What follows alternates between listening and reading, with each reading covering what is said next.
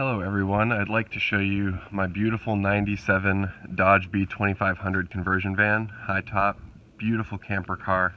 Picked this up last year. My wife and I took it out to Yellowstone towards some other national parks. Went out west, had a great time and have since used it for various camping trips, etc. Now, uh, I'm about to explain something that went seriously wrong with this vehicle and that you should keep a lookout for if you have a similar one. I bought this van off the original owner off Craigslist, and I crawled underneath it to look for rust damage, but I wasn't super savvy in what exactly to look for. I saw a lot of surface rust on various features, but nothing that made me think, oh crap, I shouldn't buy this. Just something like, well, maybe I should seal up that rust and just keep an eye on it in the future. But little did I know there was a problem. The problem manifests in the front of the vehicle, where a lot of moisture tends to drip down to some really critical suspension pieces on each side. Now, fun fact, after I purchased this, I got it inspected, and it passed inspection after a couple of minor repairs, so it wasn't just my amateur eye that missed a few things. But after taking it back to Yellowstone, I saw what a lot of those rumbly roads rusted, or uh, broke off pieces of the rusted frame, as you can see up here, and it really exposed a lot of the underlying damage. You can actually see this repair that my shop did on uh, the upper, whatever the heck it's called, the upper control arm on the right side of the vehicle, the passenger side, where they fabricated this crappy mount here to help stabilize the top of where the control arm mount came off of the top of this frame. And this is still bad, and they they uh, they judged this to be unsafe for the road, but I kept using it anyway for about a year after that. You can see that actually this shock down here has rusted off where there's a hole in the bottom and I attempted to weld a, a, brace here to keep it intact, but um, after a couple hundred miles that rebroke. I fixed it again, and then it rebroke, and then I stopped trying. So this rattles on, on bumps, as you can probably imagine. You also may notice that we're missing the stabilizing bar, the sway bar on the side. That fell off in Yellowstone. Now the scariest thing is on the driver's side. This has a design flaw, I guess, where the steering box, which is this thing up here, um, the steering wheel has a column that comes down into that, is attached to this frame, the frame that rusts a lot.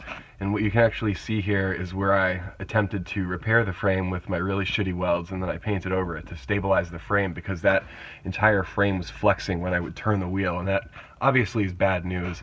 But that held up for several months and a few thousand miles after I fixed that, so I thought maybe I was all good.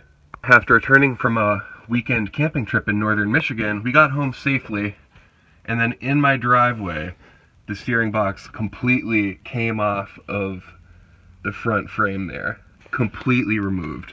And now this van does not steer at all. At all. I cannot believe that this happened in my driveway instead of on the highway. We would have been completely fucked. This is no longer drivable. I might try to rig something up to make it so I can move it around my property, but this is not safe. This is my parts vehicle, which I purchased uh, for a couple of donor parts, and that I thought might have good suspension donor capabilities as well. This one also has a little bit of rust, but in, in general it's in much better shape. It was an ice cream truck, so it didn't drive in the winters where we get a lot of salt here in Michigan. You can see a lot of this has got the paint delaminated and stuff, but I think a lot of the metal's actually pretty pretty solid, but the problem is I don't have the welding skills to cut the frame forward of that, and really the frame should be cut farther back because both of the control arm points on my other van are, uh, are mangled from rust as well. So this would really need a super professional job to fix, and that's a little bit out of my hands at this point. So now I'm left with this custom converted $5,000 high top conversion van that is undrivable, even though it passed an inspection by a reputable mechanic due to hidden rust issues in the bottom of the frame.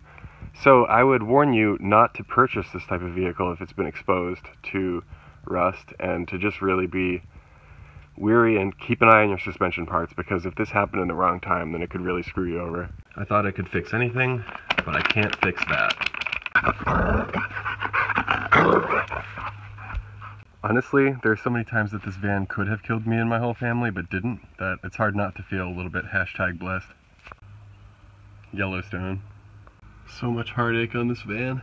Fuck it, let's do this, boys. Woo!